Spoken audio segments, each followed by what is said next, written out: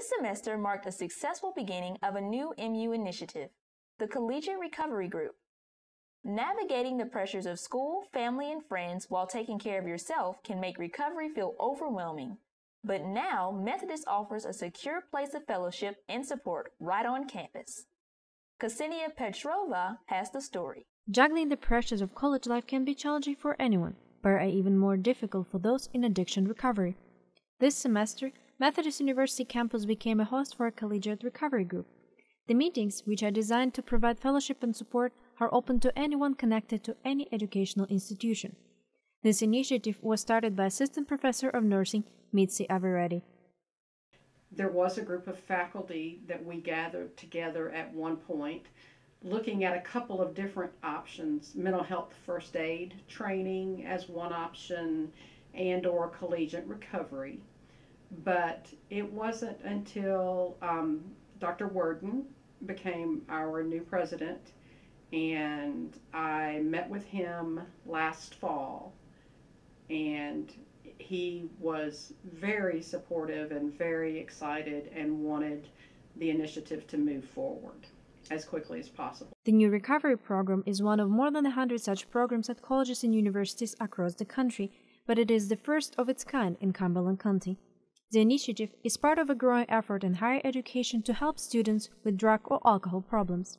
Some research has shown that if a college student can talk to another college student who has decided to make some changes, that can be have a more of an impact for that student to begin to look at trying to make some changes. We have had students from not only Methodist, but Fayetteville State and Fayetteville Tech. So, in my opinion, that indicates that there was a community need. One of the participants, Alice Jackson, shared her experience at the MU Recovery Group with us. I know Mitzi, who started the collegiate recovery, and she had called me and she said, We're starting a program for college aged kids that are in recovery just to kind of help break the stigma and to have a safe and kind of environment for people who are interested in doing the same thing. I have a six year old daughter. So it's like I can be a mom to her and it's like we can go to beach and we can eat dinner together and like I can be an intentional parent. And then like with school, I can complete my schoolwork and I'm not rushed and I'm set to graduate in December of this year and it's like, I don't think that that would be possible for me if it wasn't for recovery. If you or anyone you know is working on recovery while also working to further their education and would like more information on the College Recovery Group at the MU, do not hesitate to contact Mitzi Averetti or anyone else involved. There is an email that if anyone has any questions, they can email anonymously and just ask any questions. It's Roaring for Recovery with the number four roaring for recovery at methodist.edu, and anyone in the community can email and ask questions.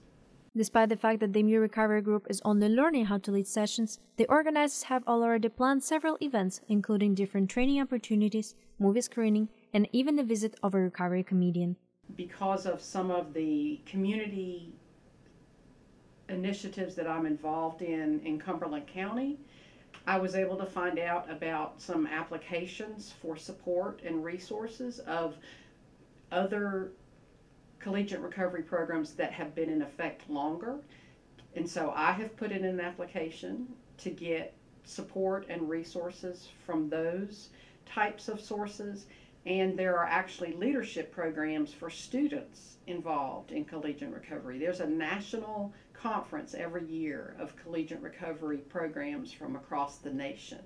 And so, two of the students that are involved in our group have applied for those leadership possibilities, and I have put in an application. Even though this was my passion and what I wanted to get started, my goal is to hand it to the students, for the students to take over and really decide exactly what they want the meeting to be. Methodist University Recovery Group meets every Monday at 4:30 p.m. in room 104 of the Nursing Studies building. I think that if someone's considering joining that there is an option to be an ally and that's not saying like I'm a person with substance abuse. That's not saying that I'm a person in recovery. It's saying like I support what this is doing.